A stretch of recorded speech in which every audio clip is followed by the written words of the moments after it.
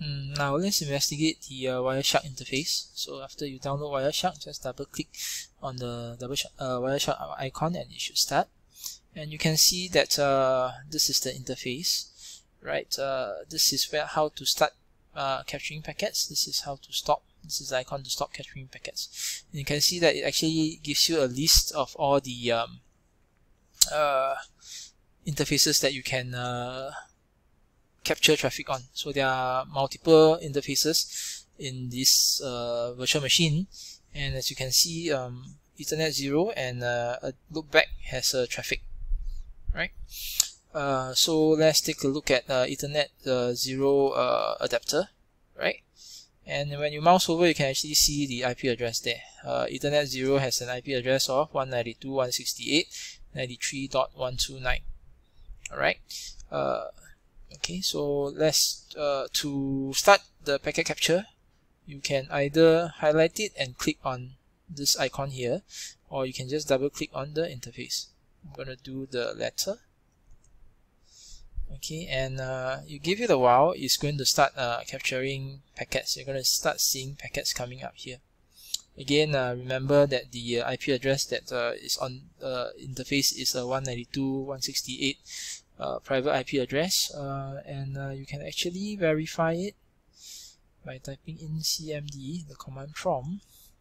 Right there you see the um, traffic is coming in it's being captured right? Um, and you can actually type in a uh, IP config right? And this is going to show you your IP address 192.168.93.129 you can see uh, traffic coming in from 129 going out and uh, from the outside address, the internet address coming back in to 129, the local address. Now, um, what we can see here is, uh, let's investigate a little bit further, uh, clicking one of the packet. Okay, let's stop the capture. Okay, I'm going to stop the capture. And uh, clicking any of the packet is going to show you the details in this window here okay so if I click uh, if I go further up and I click let's say packet this is packet number 198 I click on it and you can see uh, it has uh, all the information here. It has the frame information right? It has the frame information. It has the ethernet layer information. So this is the source MAC address followed by the destination MAC address and so on you're also going to see um, the internet address, right? So you can see things like uh, you can see things like the source and destination IP address. So this is a in this way this uh, Wireshark is a very powerful tool, powerful tool for us um, to capture uh, traffic going in and out of a machine. Now, um, you will notice that there is a bar here that says uh, apply a filter, a display filter, right?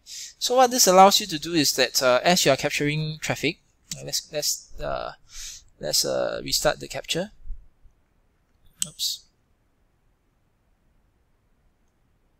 Alright, and it's to ask you whether you want to save the current uh, packet capture. I'm gonna I'm gonna continue without saving. Okay, so I'm gonna discard all these packets that's being captured right? And uh, start over again. So um, what this uh, bar here allows you to do is to filter traffic. For example if I only want to see mm, ping okay? If I only want to see ICMP traffic see I can actually just um, choose ICMP okay so what this is gonna do is that uh, it will not show me anything else right? It will not show me anything else except ICMP Can you see only the ICMP uh, traffic is going to show up right? So uh, let us uh, do a ping to uh, maybe Google. Or ping to our gateway. 192.168.93.2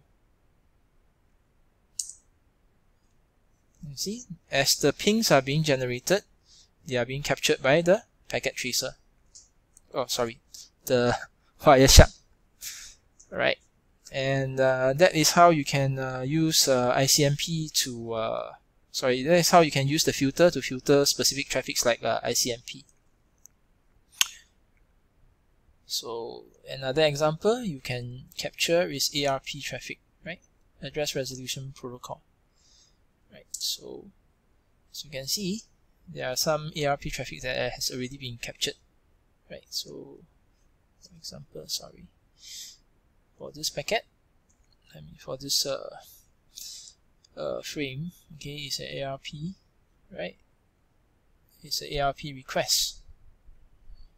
Okay, and uh, for this is an ARP uh, response.